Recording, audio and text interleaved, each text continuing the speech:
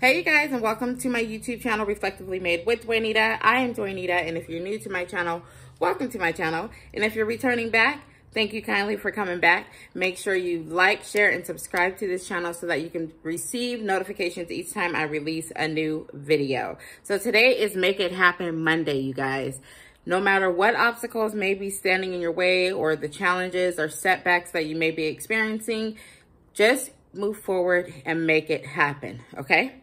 And if you need a little help staying on track with your goals and making sure you are accomplishing the things that need to get done, grab a planner. I'm currently using this planner called Make It Happen 2023 monthly planner. The link to this planner will be in the description section of this video. But yeah, it's very helpful because I'm writing down my plans for the week and I make sure I check it on a daily basis to make sure I'm getting things done because we have to make it happen. All right. So you're actually tuning into a series that I like to call 30 Ways to Level Up. Personal Growth Edition, wherein I'm going to be sharing 30 ways that we all can level up in our personal growth journey. And today I'm going to be sharing the number 25 way that we can level up. So if you missed number 1 through 24, just simply go back to my channel, Reflectively Made with Dwaynitta, watch number 1 through 24, so you can get all caught up. Now keep in mind, the information I'm sharing is not in any particular order, but I do encourage you all to grab a notepad and a pen so that you can take notes on any piece of information you hear that resonates with you and your situation. That way you can reference the notes later and that way you can implement it and apply what you hear, okay? The other thing that I want to inform you of is the information I'm sharing is from my own personal life experience, from my own opinions, and from my own perspectives. But I do encourage you to share your perspectives below in the comment section. So that way we can continue the conversation, continue to enlighten each other, and continue to inspire each other. Okay. The other thing is this information I'm sharing is not new information. It's information I'm sure we've heard over time. So you could just look at this as a friendly reminder session and look at me as your friendly messenger. And last but not least, make sure you subscribe to my channel Reflectively Made with Dwaynitta so that you can be notified when I release a new video. Okay, let's get into it. All right, so those of you who have been following along know that I like to reference and read from my notes because I want to make sure that I come correct when I'm giving you guys this good, good information. So the number 25 way that we can level up in our personal growth journey is to change our perspectives of a setback. So we need to change our perspective of a setback, right?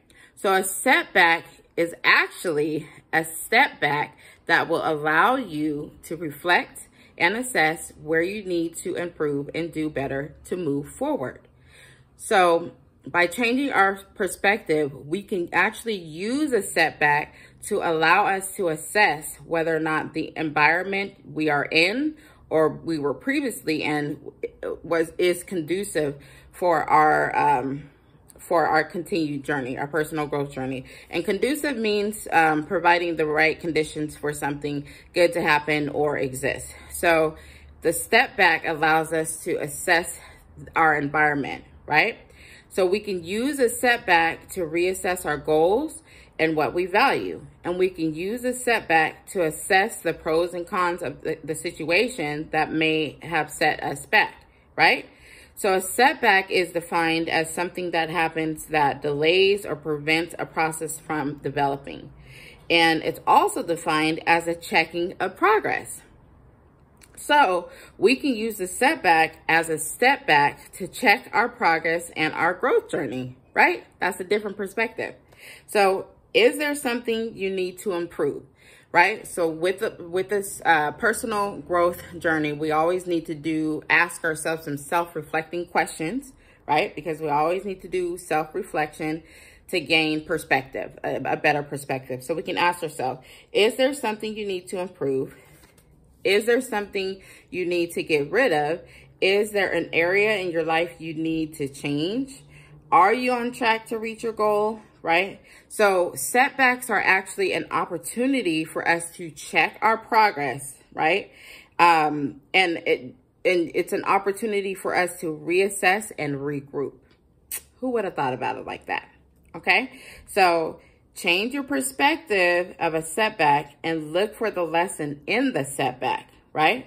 Because a setback is, and you know what, before I get to the end of this is, I want to share a little story about me. So I was with the company for 15 years and I was nice and comfortable in that, that, that company, right?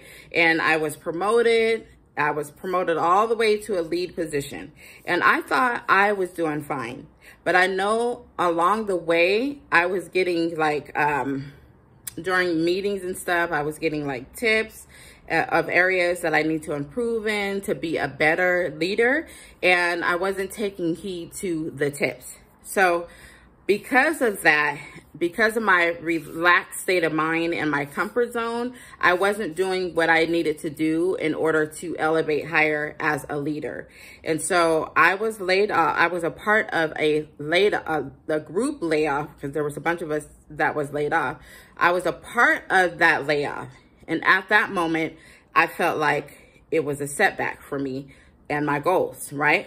But in hindsight and looking back, I realized that it actually was a good thing that that happened to me because it helped me put things in perspective and it helped me to really analyze myself and be honest with myself and ask myself, was I really doing what I needed to do to elevate higher as a leader? Was I really taking it serious or was I just comfortable knowing that I've been there for a long time?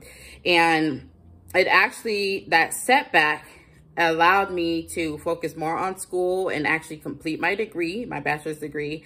Um, and then it also propelled me to challenge myself to try different um, areas of employment, right? Because I was with that company for a long time, so I called that company home and I didn't know anything else outside of that company. But it allowed me to challenge myself to actually go for uh, different positions at, at, at, different employers and get more exposure and experience in different areas. Okay. So that, that's, that's, that setback actually helped me.